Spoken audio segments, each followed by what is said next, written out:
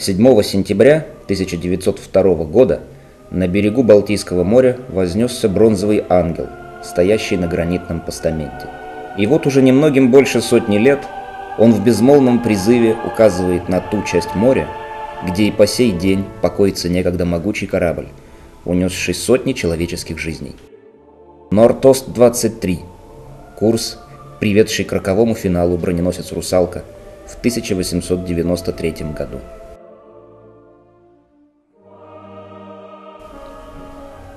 Осень 1893 года. 8 утра. Из Ревельского порта в последний раз отшвартовывается броненосец «Русалка». По небу гуляют тучи. Ветер усиливается и к 10 часам утра достигает уже 9 баллов. Броненосец, тем не менее, уверенно идет вперед под командованием капитана Ениша.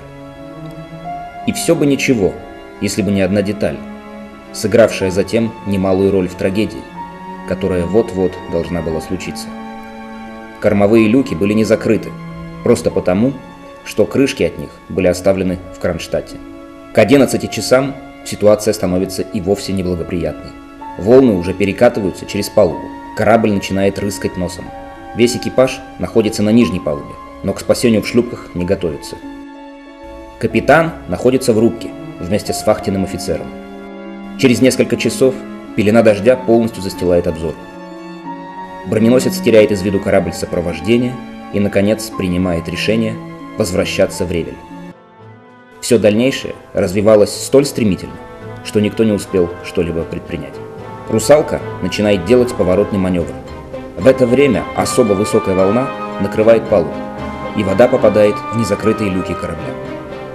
Броненосец накренился и ушел носом под воду, вонзившись в вылистое дно. Ни один человек не успел спастись.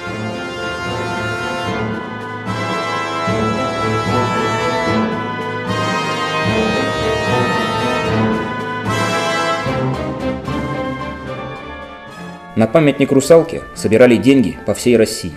Император лично внес 5000 рублей. И неудивительно, что в 1893 году Известие о гибели броненосца потрясло все российское общество. Были предприняты беспрецедентные меры поиска. Все тщетно.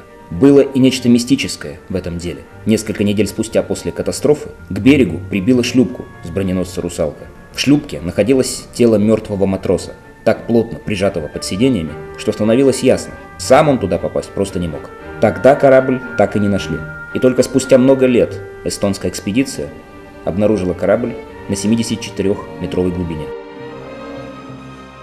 Бронзовый ангел был воздвигнут в девятую годовщину со дня гибели русалки и стоит уже добрый век, привлекая внимание горожан и туристов. Кстати, и тут не обошлось без мистики. Круглая площадка вокруг памятника сделана в виде компасной картушки, указывающей курс, приведший русалку к трагедии. Стали наводить справки и выяснили, что архитектор, создавший это великолепие, совсем ничего не смыслил в морском деле и никаких подробностей гибели не знал. Совпадение оказалось случайным.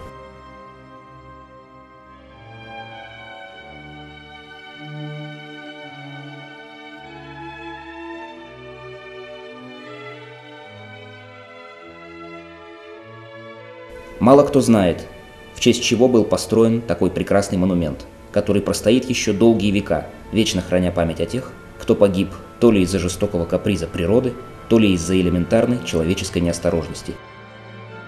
А русалка будет также хранить свою тайну, погребенную под водами Балтийского моря, где она не лежит успокоенная, а стоит, наполовину увязнув в иле, как невидимый памятник скорби, свято хранящий свою тайну.